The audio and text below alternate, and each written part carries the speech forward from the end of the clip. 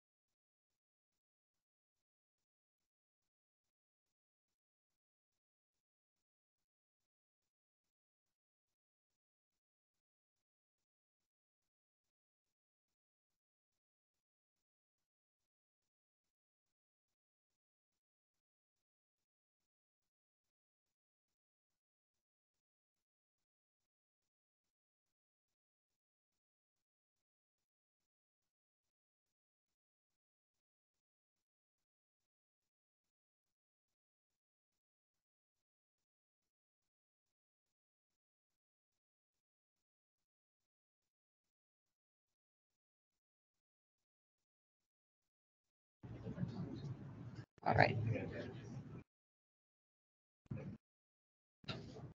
Okay. Oh, I'm doing it in the wrong order. There we go. There we go.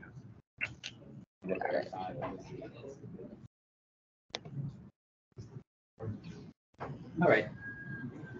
So we're gonna go ahead and get started today with our seminar. We got Rachel Sheppard here today to talk to us about clinical trial development and regulation. She's been with the university for, what you said, twenty-five years in research, twenty-two years in clinical trials. Yeah. So please give her your attention today. She talks to us about what she wants to talk about. Well, hopefully it's what you want me to talk about. Um, Thanks for having me. Uh, Good afternoon. Uh, I want this to be very interactive, so if you have questions, please chime in. I can't say that I know everything about this, but I will do my best to answer any questions you have.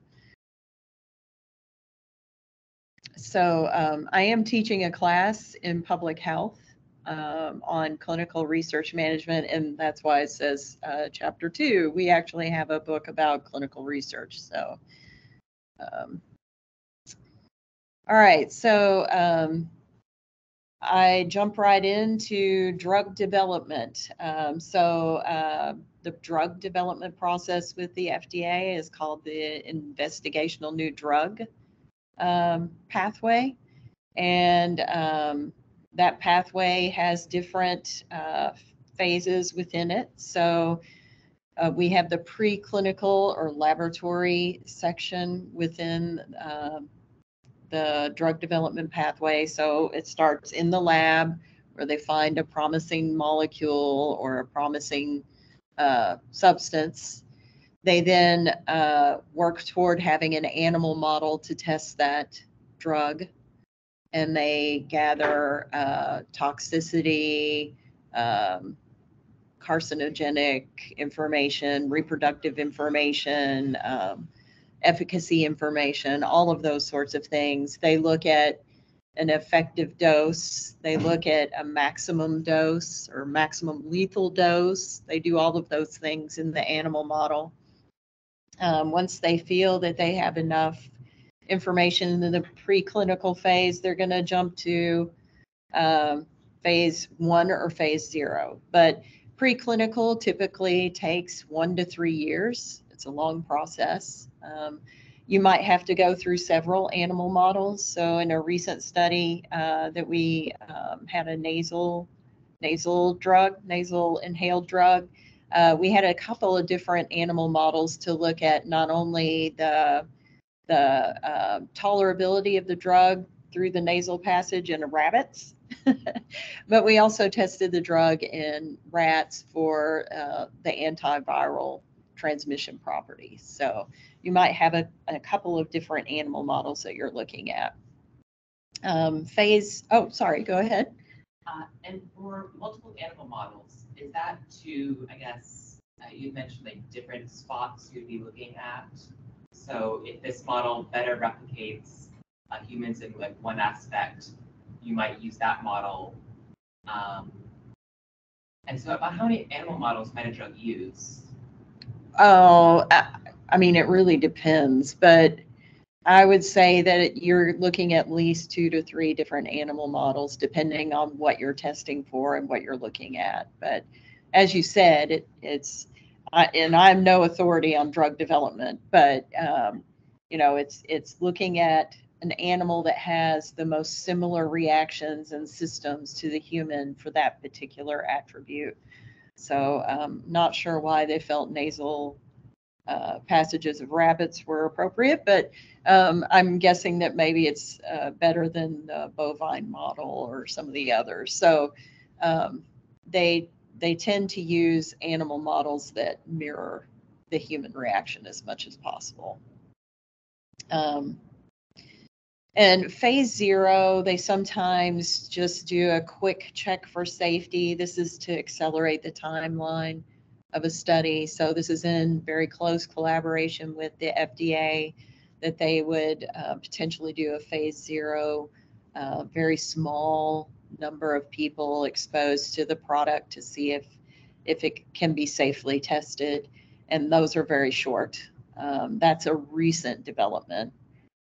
Um, and then we have phase one, which is the first real trial in humans, uh, maybe controlled trial in humans. So a lot of the times we're using phase one for dose ranging or finding the right dose that's tolerated um, and safe. Um, very limited efficacy. We're not really looking at effic- efficacy in phase one. We're looking more at safety and dosing. Um, very small number of participants, usually healthy participants, not people with a disease. Of course, in cancer, that's different, but um, in most other drugs, it's um, a healthy population. Phase one takes nine to 18 months to complete on average, and um, it's in few locations. They want to really control very closely how the participants are exposed to the product and the, they want to have maybe one central laboratory that's getting all of the um, sampling and doing all the testing so that they're sure they're comparable comparable um, we also do a lot of additional sampling to look at uh, pharmacokinetics and pharmacodynamics of how the drug is interacting with the body, how the body is processing the drug. Then uh, phase two uh, is uh, much larger than phase one. We're looking at safety still, but also efficacy and maybe uh, broader dosing rate or a broader uh, exposure to the drug, maybe not just a single exposure, but repeated exposures. Um, so we're looking at minimum and maximum effective doses within the dose range. Um, we will include people that actually have the condition that we're hoping to treat rather than healthy individuals. And um, again, we're looking at dosing and dose scheduling.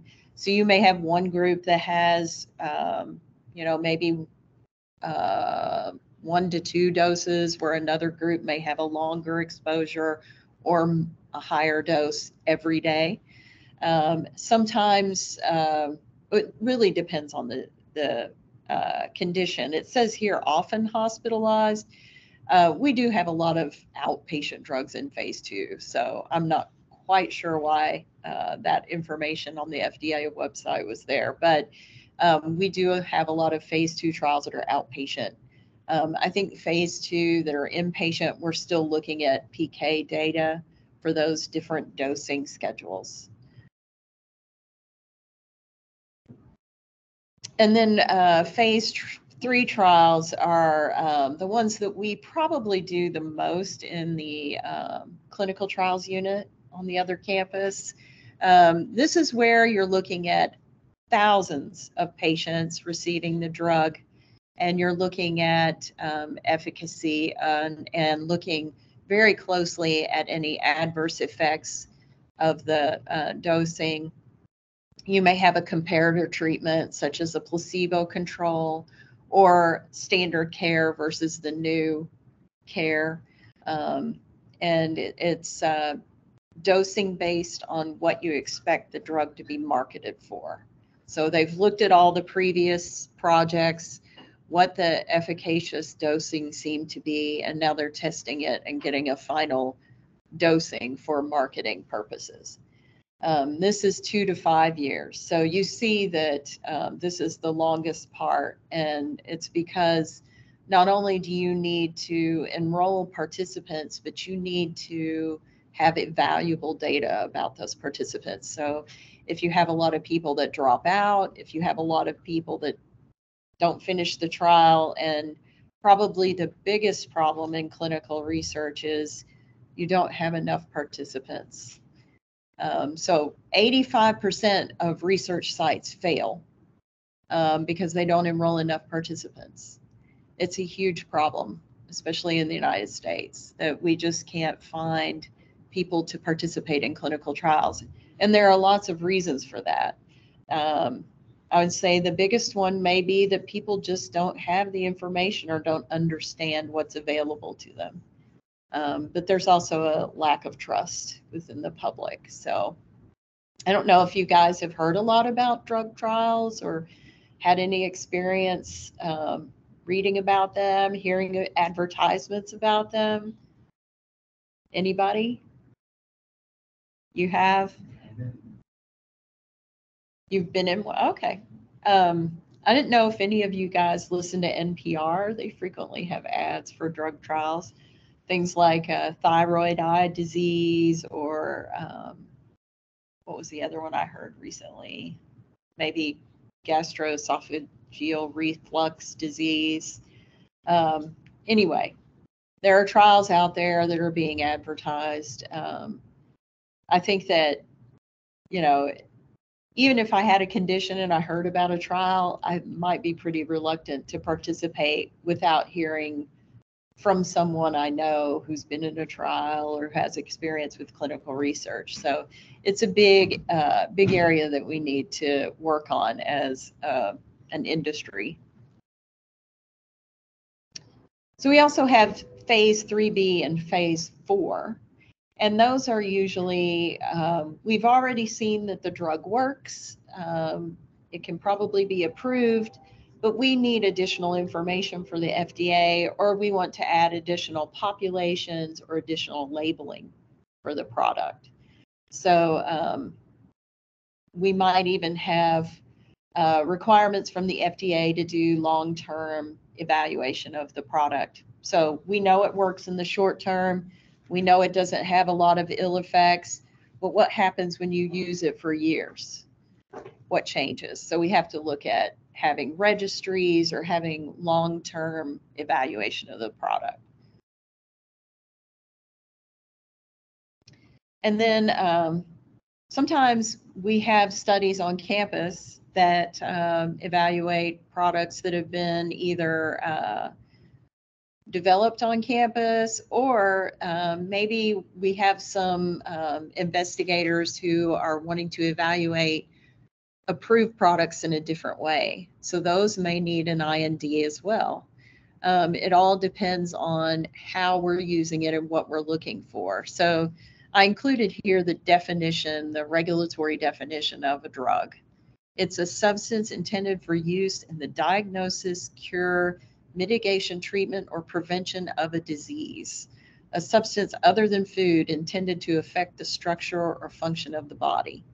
So if you write a research protocol and you're looking at mitigating, curing, or diagnosing a disease, then that may be a product, even though it's a maybe it's a, a probiotic that you're going to give people. If you're looking at trying to cure a condition, then it's a drug. It's it meets the definition of a drug, even if it's a food or a probiotic or a supplement. Um, recently had a project where um, they're looking at probiotic to treat um, alcohol syndrome. So um, it was considered a drug, and we had to go and get an IND for the project. So the IRB, our Institutional Review Board, has a resource where we can evaluate whether an IND is necessary.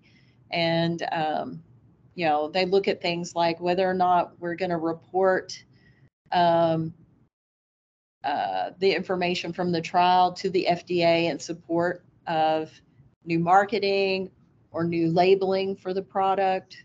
Um, if it's already lawfully marketed for that indication, then it may not need an IND. So this this is designed to help us through that thought process.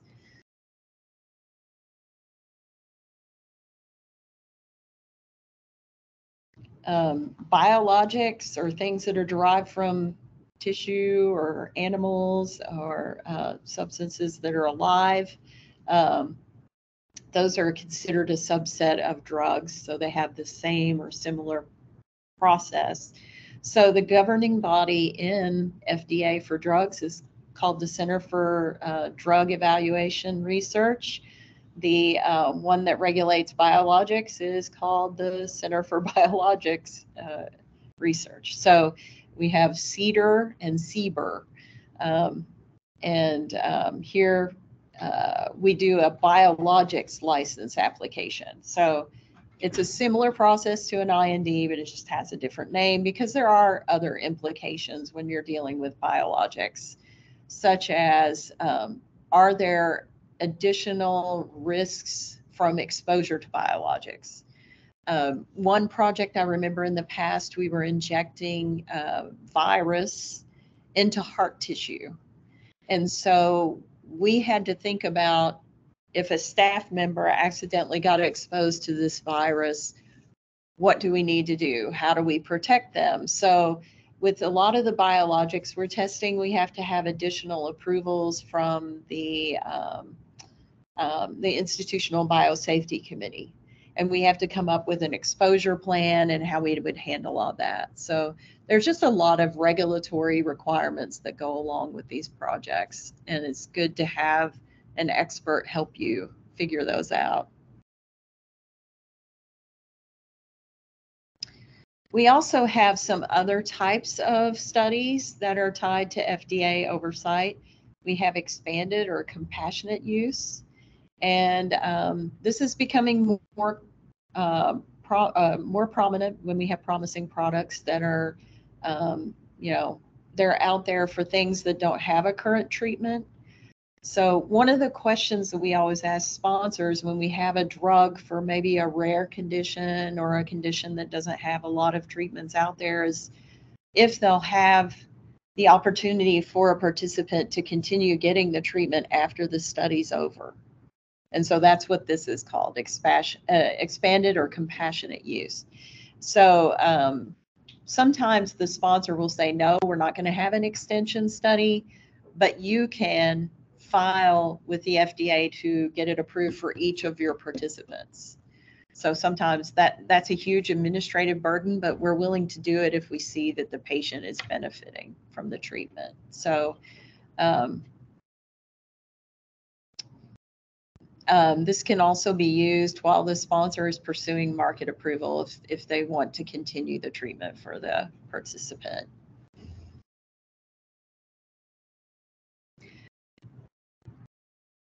And then we have emergency use. So um, this is more um, when there's a, a non-marketed product or an experimental drug.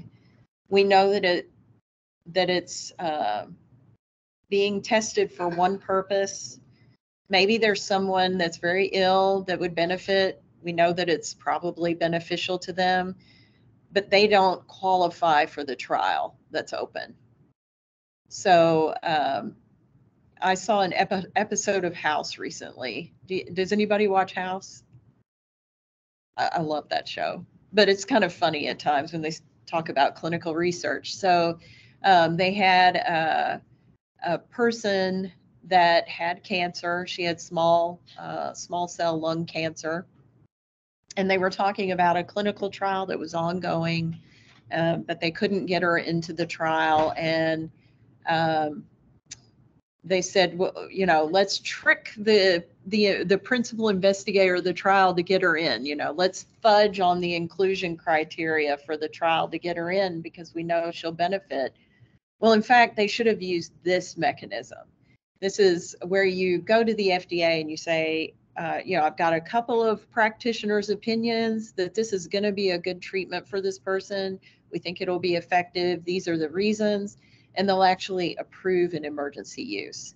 And that's different than off label use. Off label means something is approved and we're using it as a treatment in a different way. So this is for an unapproved product. Does that make sense? So, you know, uh, an off label use of uh, ibuprofen, maybe that you use it to, I don't know, um, thin your blood so you won't have an aneurysm. I have no idea, but I'm just saying you're looking at uh, an approved drug versus a non-approved drug.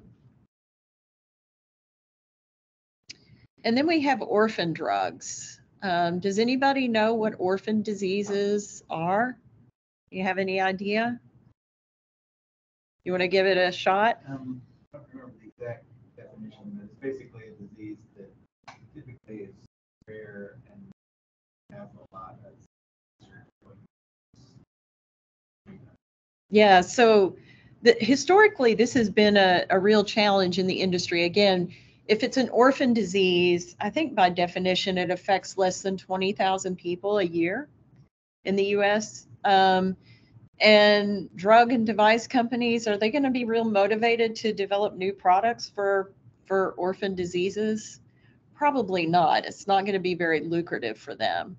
So, um, yeah, 1983, the US government said, we're going to incentivize industry to come up with treatments for some of these diseases. Cystic fibrosis is one of those, um, childhood disease of the lungs. It's, it's rapidly getting to the point that it's no longer going to be um, um, in the same status because people are surviving longer with the disease and we have more people with that disease now. Isn't that interesting? So, um, but anyway, this this um, pathways was developed for companies to get incentivized or get funding to develop more rare treatments, and um, they get grant money from the government. They get special incentives such as longer patents, and um, they really increase the number of orphan treatments available um, by having this regulation. So. Uh, Oh, yeah, I got it right. 20, 20,000 or 200,000. Sorry, I was off by a factor of 10. Um, so uh, since 1983, 325 treatments were developed due to the Orphan Drug Act.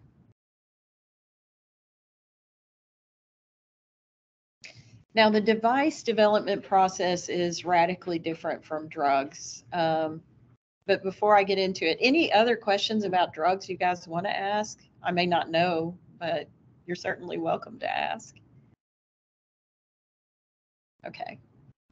So um, performance of device trials uh, are different because you're looking at more specific things about the device. Um, you have a better idea of what to expect because it's more of a mechanical effect rather than a a drug effect. Um, I think that the biggest factor in device trials is the skill of the clinician or the surgeon.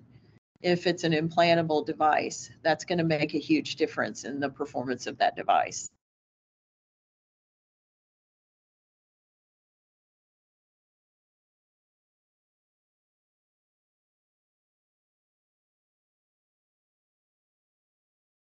Um, an instrument, apparatus, implement, machine, contrivance, implant, in vitro reagent, or other similar or related article, including a component part or accessory, which is recognized in the official national formulary or United States pharmacopoeia or any supplement to them.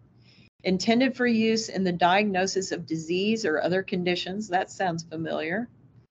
Um, or in the cure, mitigation, or treatment or prevention of disease in man or other animals. Again, sounds familiar.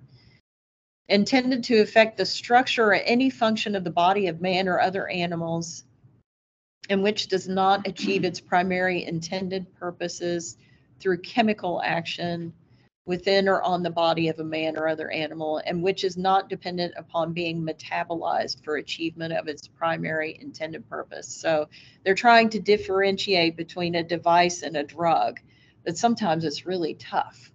Um, one of the things that surprised me when I was working um, on some projects is that when you're looking at a laboratory assay to diagnose something, that's a device, even though it's a you know, a, a, test in the laboratory. That's considered a device. So um, very, very interesting and very broad category. So what are, how, how are devices classified? So we have class one devices, which are simple, low risk, minimal potential for harm. And those are bandages, gloves, crutches, um, Class two is more complex or moderate, moderate risk. So we may have surgical drapes or infusion pumps. And then class three, they're very complex, high risk. Um, they're usually used to su su uh, support or sustain life. Um, and they actually have a database, uh, national database that's used for um, listing all these products and their classifications, if you're interested. Um, but if you don't know what class your device is, you have to um, submit what's called a 513G application to the FDA to have them help you determine the classification of your device. And I am showing right now, anybody know what this is in the picture? I'm sorry? LVAD. Yes, uh, left ventricular assist device, LVAD. Um, my team works very closely with the cardiothoracic surgeons on testing these, so. All right, so again, we have classifications of devices and then we have risk categories.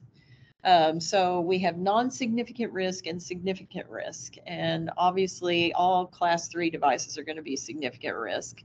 Class two probably will be two, but class one, uh, probably not.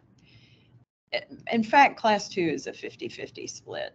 Um, so when you're looking at a non-significant risk device, um, it doesn't pose a significant risk to your participants, but the IRB has to agree with you that you um, are not po- posing a significant risk. So again, we write a protocol if we're going to test a, a new um, a new bandage on someone. We might write a protocol, and um, the IRB has to agree. Or more currently, we are going to test a new swab that was 3D printed for COVID testing. That's one of the ones I wrote during the pandemic. So um, that was a non-significant risk device trial.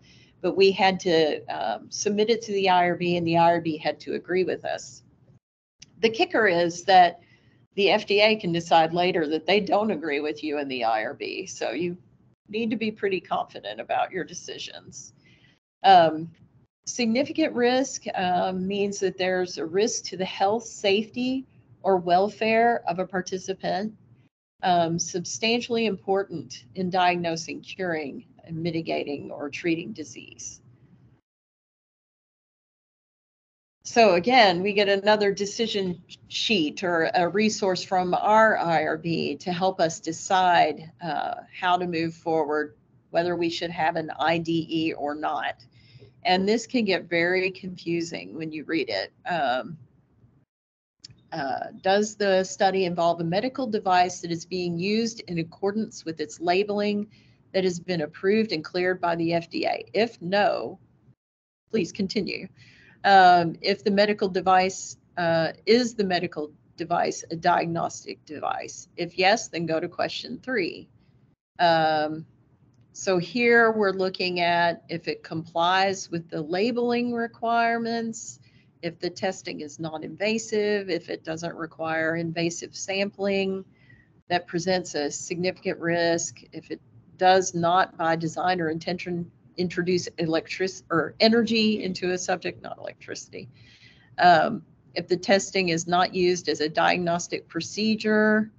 Um, so if if all of those um, are, let's see, if all are true, then what happens? It's exempt. Yes, that's what I thought. So um, again, you have to go through that decision-making pro process. Um, most of the time, if we are doing this worksheet, we're probably looking at a significant risk device. So we're probably uh, in the number four category. So we have to look at, is it intended as an implant and presents a potential for serious risk? Maybe not. Um, is the investigational device purported or represented to be for use in supporting or sustaining human life and presents a potential for serious risk? So chances are, if you've gotten this far, um, it's going to be an IDE. But um, you do have to look at each of these categories.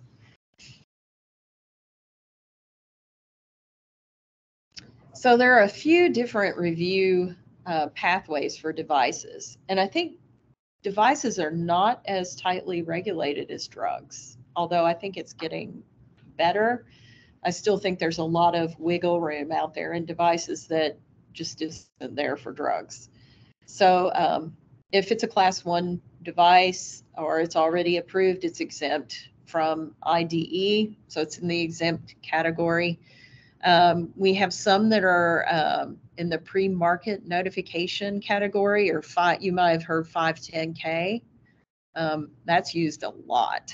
Um, we're looking at substantial equivalency to something else that's already out there. Um, and it usually has a 90 day review timeline before marketing. So a lot of a lot of device manufacturers use this process. Um, then um, I'm going to skip over to pre-market approval. So that's for the IDE high-risk devices. That's what the majority of the trials we perform are on. Um, we have uh, de novo, which is a newer pathway. Um, so it's not substantially equivalent, but it's a lower risk device. So you might go in with your 513G uh, application. They tell you it's a lower risk, so you can choose the de novo pathway to get approval. And then humanitarian device exemption. Again, this might be used for rare diseases or rare conditions. So um, if we have a certain type of aneurysm and we know this certain coil that we're testing could be beneficial to a patient, we may file for humanitarian device exemption. So um, that would be, you know, if they didn't qualify for any of the clinical trials again that were being done on that device, we could use this mechanism. So on the drug side, it's the emergency use. On the device side, it's the humanitarian device exemption. Does all that make sense?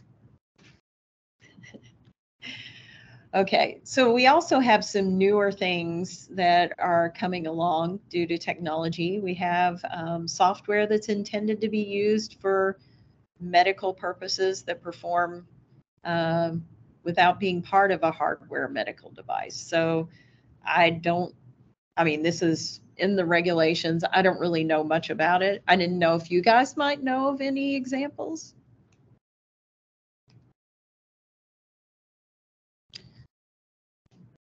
Sometimes there's like, you can do mapping of tumor sizes and stuff like that. So you're not actually doing anything with the patient, but you're using like their previous scans or something like that. Oh, yeah, AI. Exactly. Good- Very good example. Any others that you can think of? I know right now we have um, some researchers that are looking at getting aggregate data for patients that have had uh, coronary artery bypass grafts.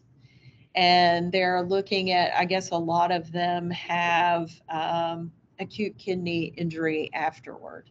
So they're looking at ways of looking at the data of all these patients to come up with an algorithm to detect when someone is at high risk for acute kidney injury. So I think, again, that may be considered a, a device. Um, so again, any any uh, regulation that's governing devices, you're going to find in 21 CFR Part 12. Um, for drugs, it's 21 CFR uh, 312 instead of 812. Um, and then we have the Safe Medical Devices Act of 1990. And um, I found this on Drugwatch. More than 1.7 million injuries and nearly 83,000 deaths can be linked to medical devices over the past 10 years. The AMA predicts that 10% of 10% of Americans will undergo a medical device implantation at some point in their lifetime. Fewer than 0 or 0.5% of implanted devices have likely received testing through intensive clinical trials. And I think that's because of that 510K process. So it's kind of a shocking uh, figure that nearly 10% of Americans may have implanted devices. That's unbelievable. So, um, the other thing that you should know about uh, drugs and devices that, that we on, have ongoing reporting uh, requirements after something is approved with the FDA. So uh, there is an FDA form 3500. It's called the MedWatch form. And, um, you know, if you go to your doctor and you report a problem with a drug or device, this is what they're going to use to report to the FDA. And that's how we get a lot of those black box warnings or post marketing pulls is that enough events have been reported to a primary physician that uh, the FDA has to take notice and take action. So, um, so my group has a huge responsibility. Anybody who's conducting a clinical trial has a huge responsibility in ensuring that you're collecting accurate data and that you're reporting everything correctly because um, you know if, if you're uh, seeing that somebody has a mild headache um, but um, you don't report it because you don't think it's a big deal well what you don't know is that at least three people at every site conducting the trial have the same headache and it may be an early sign of a more serious condition. So we do have a huge responsibility to accurately collect and report this data because long term, I mean, I've seen it a few times in my career. Um, what was that lovely pain drug, Vioxx, uh, that they had to pull from the market because of cardiovascular problems later on that they observed in the public. So, um, you know, there's always some new and surprising thing that could happen. In all of our consents, we say there are other risks that we may not know about. Um, so uh, we have to tell our participants that, you know, we think these are the things that could happen, but there are other things that could happen. And that's why we're doing the research. Um, if we knew what we were doing, it wouldn't be research, right? So again, just an overview of this drug process. I wanted to show you this because you know, when you map it all out, this is a 12 to 15 year process. So um, when you think of the chunks, it doesn't seem like so long, but when you put it all together, that's a long time. That's a significant investment. Um, I'm sure you can imagine how much money some of these trials cost. Um, if we're looking at a class three device trial, such as a VAD trial uh, or an LVAD trial, um, each patient that we recruit, uh, the budget is probably $25,000 just to just for one patient. And we have to test it in hundreds of patients. So that adds up very quickly. And that's just our little piece of the pie at the site. So it's a very expensive prospect. again, it's kind of like a funnel, you know. Uh, as you go further in the testing, more and more products fail. So from phase one to the approval, the success rate is only 10%. If you include preclinical, that goes way down. Um, so once you start testing in man, phase one to phase two, we have a 63% success rate. Uh, phase two to phase three, it drops to 31%. Phase three to a new drug application or biologic licensing agreement, it goes down 58%. So, um, and that FDA review lasts a year. So you lose another year there. But um, yeah, it's pretty shocking how difficult it is to go from concept to market. And then I, I just wanted to include some things to give you an idea of, you know, just the overall picture right now. So um, again, the top issues that uh, impact our site or our studies here at U of L, uh, site staffing and retention is top. I'm sure that's not a shock to any of you who've been to a restaurant and can't get waited on. Uh, but uh, you know, it's it's a huge issue, and um, in this industry, it takes about, I would say, at least a year for you to have someone trained enough to act independently. So uh, it's a huge investment too. Um, patient recruitment and enrollment is number two, and um, as I said, 85% of studies fail to recruit enough participants. Um, 15% of sites fail to enroll a single person. So they do all the work to get IRB approval, to get all the documentation in place, to do the contracting. Everything gets done and they don't enroll a patient. It's very disappointing. Um, and then 5% of patients participate in clinical trials. So again, there's a real disconnect. How do we how do we reach people? How do we get them engaged? Part of the problem is how the trials are designed or how specific they are. So um, inclusion exclusion criteria, we're looking for a certain type of patient. And if our patient doesn't meet those criteria, we can't include them. So I would say a lot of the time that's one of the big factors. But we're trying to get better. There are still some issues out there. Um, I would say one of the biggest ones right now is um, diversity, equity, and inclusivity, and also um, body mass index. We want to enroll, you know, people with a low body mass index. Well, what happens when we do that? And we don't know if the drug works in somebody with a higher body mass index. It, historically, it's been a male female thing. We only wanted to enroll males, no females. We didn't want to take risks related to reproductive issues. Well, again, we got into the uh, situation where we didn't know how drug how effective drugs would be for our female patients. So a lot of things to consider.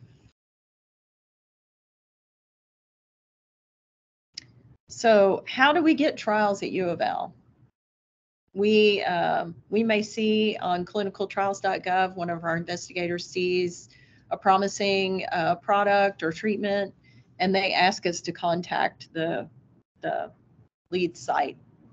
Um, we have partnerships with clinical research organizations. So there are a lot of organizations out there that run trials for sponsors such as Pfizer, Merck, Lilly, and um, they're responsible for organizing, managing all the uh, research sites. So it, we have partnership agreements with them, so they know our capabilities and they come to us with the right projects.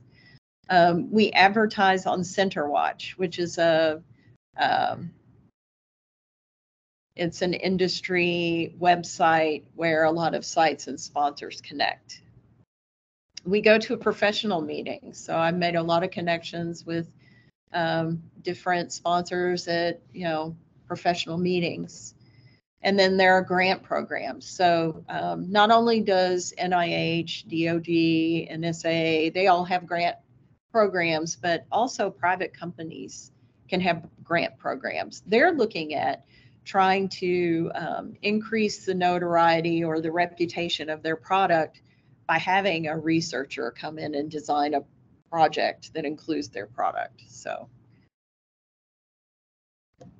And lastly, I just wanted to talk about FDA because it was a huge impact on the industry.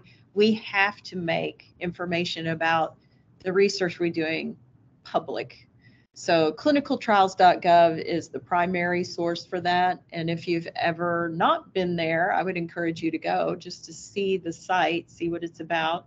Um, you can search for any number of uh, disease conditions, products, drugs, um, and see what's going on out there. It lists um, all the uh, requirements of the project, where it's being conducted, uh, what they're hoping to treat. Um, and um, if you're running your own trial, you have to post your information there. And you're not just posting that the trial is going on, you're posting your results. So um, this was to keep people from having negative trials and not publishing them. So all the journals got together and said, you know what, we're going to have an international requirement that if, if you're going to publish, then you have to make your trial and your results public. And so um, this was the United States way of getting that accomplished. Um,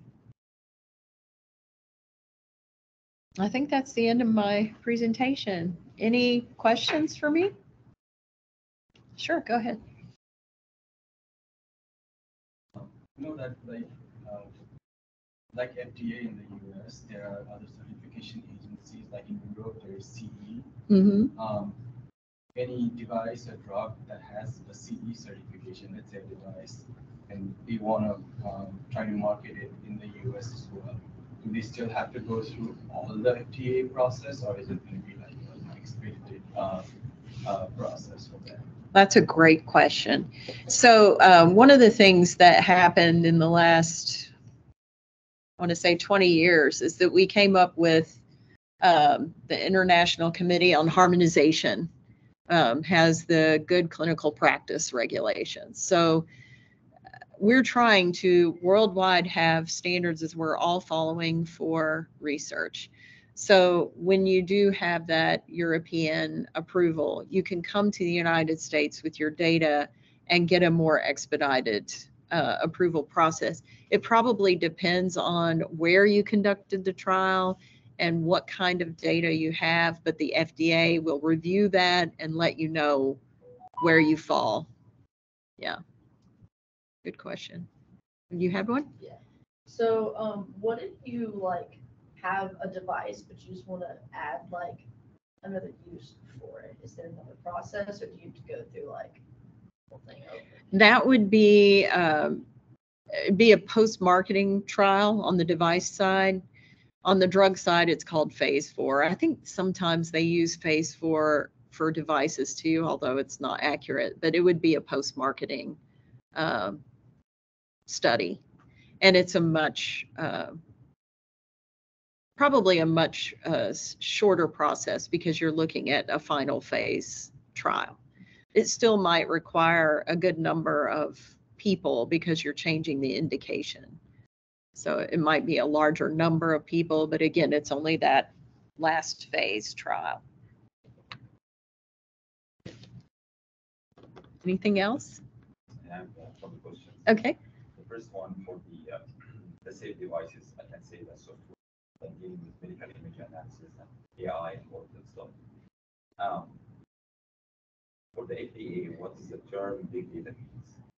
I mean, like if you have a problem you're working on and you have like, for example, two hundred or three hundred patients that have tried and working on, and you have some specific results.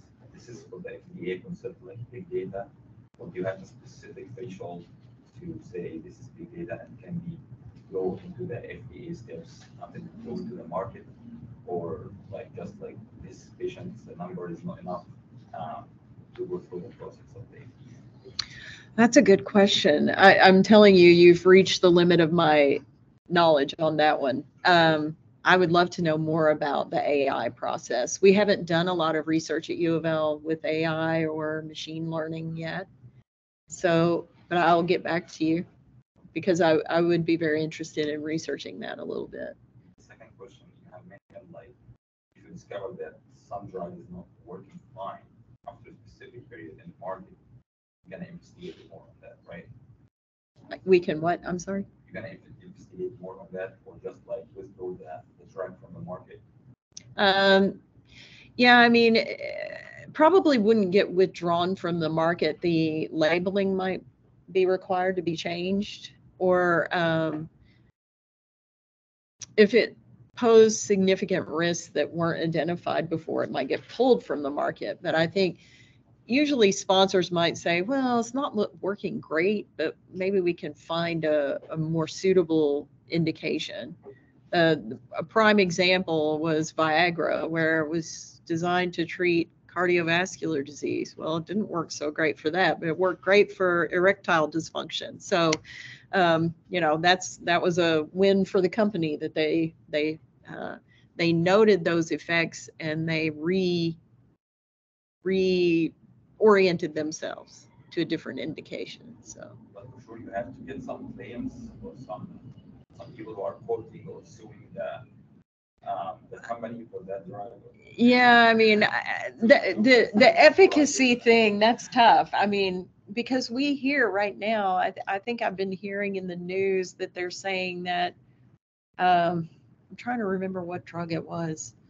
It just doesn't work as well as they thought.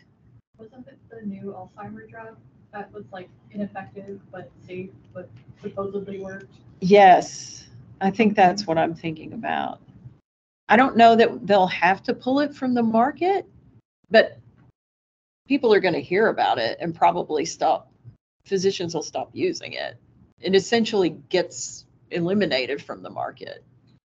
But, Let me come with my question. If like a drug has been in the market for twenty years, and, uh, some new research discovered that this drug might have some risk, or some, uh, bad effects on the future generation, for example, for pregnant women. mhm. Um, Will a new investigation be opened for that drug, or just like forget about it? It has been in the market for.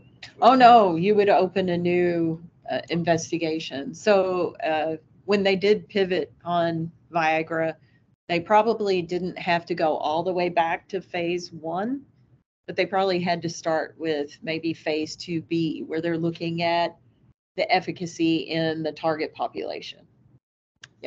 Another example would be Zantac, which was removed for being carcinogenic. It was an antacid, like over the counter, Mhm. anti-reflux.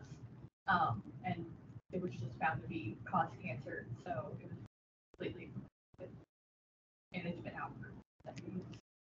Yeah. Yeah. Oh, I like the, I like this discussion. Thank you. And one more. Uh-huh. Um, so for like humanitarian devices, if you're like creating something and you're like, my goal is for it to only be used in this really small circumstance, but it has the opportunity to be bigger, would you like start there or would you be like, eventually down the road, it might be more applicable, so I should use? Well, I think it depends on what your goals are. Every know. marketing claim has to be approved, is my understanding. Like, Yeah. Any legal marketing claim you're making for the product has to be FDA approved. hmm But I mean, where you would start is probably where you could get funding. So chances are you're going to be looking at the broader use first, Mhm. just because research doesn't get done without funding. Um, Go ahead. If you're working on a device that you think is class one, you, uh, if, if your, your estimation of that is correct, process, So there is that listing right? that the FDA has. So you could look at whether there's an equivalent device, or you can file that application, I think it's called the 513G, um, to have the FDA look at classifying it for risk. So if there's nothing close comparison. Yeah, you'd have to get in touch with the FDA. Mhm.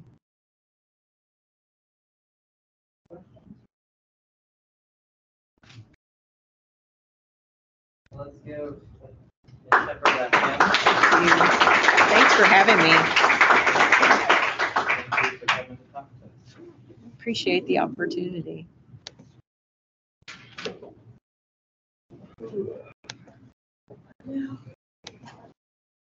Good.